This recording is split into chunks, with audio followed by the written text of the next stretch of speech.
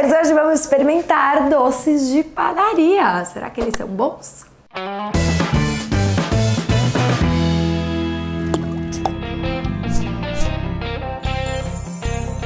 Eu já fiz o experimentando doces de padaria, mas já faz um tempinho e eu pedi também de uma padaria diferente e pedi também doces diferentes dessa padaria. Uma padaria que chama Vila Grano, fica aqui em São Paulo. E, gente, tava pensando que a padaria era um lugar que eu acho que é até mais antigamente que as pessoas iam para comer doce. Até uma coisa meio meio artesanal, sabe? Feito pelo padeiro, de manhãzinha. Tem uma coisa que tem uma história. Eu lembro que, sei lá, eu pequenininha comia muitos doces de padaria.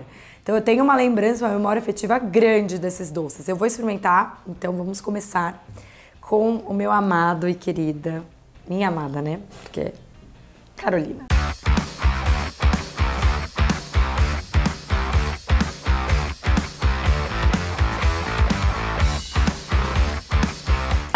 A Carolina, ela é uma patachu, né? Então essa massa de patachu em forma redondinha, por dentro vai doce de leite e por fora vai chocolate meio amargo. Em geral, ela é, é, tem essa característica. Essa aqui tá longe de ser longe de ser a melhor Carolina que eu já comi. Até porque eu achei a massa da patachu muito muito não tá gostosa, ela tá inclusive muito dura. Ela tem que estar tá em um meio termo entre mole e dura, não pode nem estar tá muito mole nem muito dura. Bem oquinha por dentro, que é o ideal. E uma coisa que eu não gostei, que eu acho que ela ficaria até boa se não fosse isso, o doce de leite tá muito cristalizado, então não é, não achei um super doce de leite maravilhoso. Se fosse um doce de leite mais gostoso, eu acho que seria aquela clássica de padaria, porque é isso, gente, a padaria ela não quer ser perfeita, ela, a padaria não quer ser uma confeitaria. Eu acho que é isso, ela não quer ser uma confeitaria francesa, nem se assimilar perto disso, é padaria. É tipo o doce do dia a dia, doce feito por um padeiro, provavelmente, ou até um confeiteiro, mas não, não, não tem aquela maestria mesmo, acho que eles nem querem. E tudo bem. Então não era para ser mesmo a melhor patachu que eu já comi na vida, ou melhor com Carolina. Mas acho que se fosse um doce de leite mais agradável, aí ia ser aquela Carolina da padaria, sabe? Bem, eu não sei explicar o sabor de padaria. Você sabe o que eu tô querendo dizer? Memória afetiva, né? Padaria é onde você come aqueles docinhos por quilo, né? Uhum. O chocolate tá bom. O próximo que nós vamos experimentar é um palmier. O palmier é um doce, na verdade é tipo uma bolachinha feito com massa folhada e por fora ele é, ele é meio cristalizado de açúcar.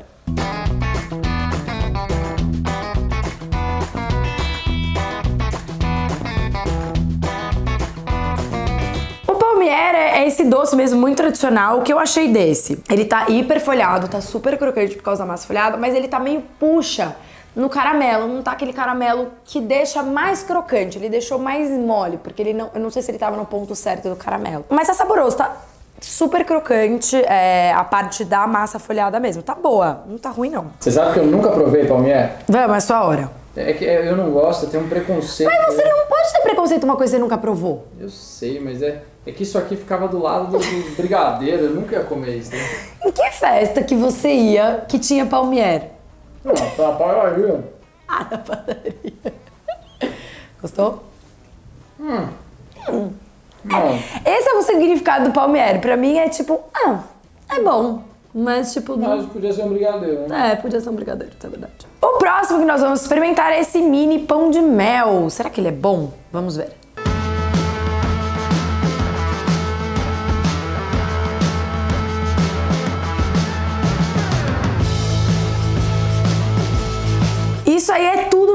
De mel. Sério?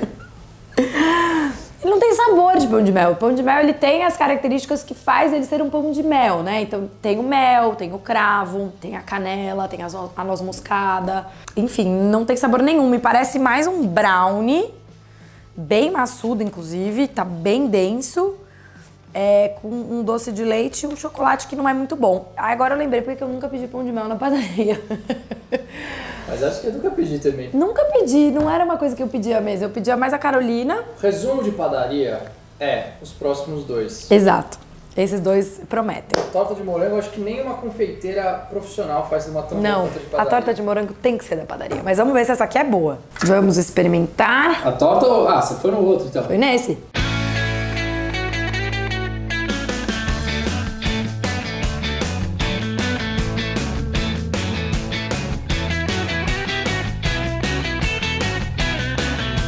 Sonho de padaria é sonho de padaria. Eu acho que ninguém na padaria, ninguém na padaria não, ninguém no mundo sabe fazer um creme de confeiteiro tão bom quanto o de padaria. Gente, como é bom. O sonho, pra quem não sabe, é uma massa fermentada, é, que é frita. Depois ela é cortada ao meio, colocado o creme de confeiteiro e depois passado no açúcar de confeiteiro. Tá muito bom. Eu amo sonho de padaria. Amo. Eu gosto daqueles bem grandes, assim, sabe? Que fica caindo creme de confeiteiro. Super bom, assim, pra comer no café. Agora o último, que é um clássico, classiquíssimo da padaria, que é a torta de morango. Vamos ver?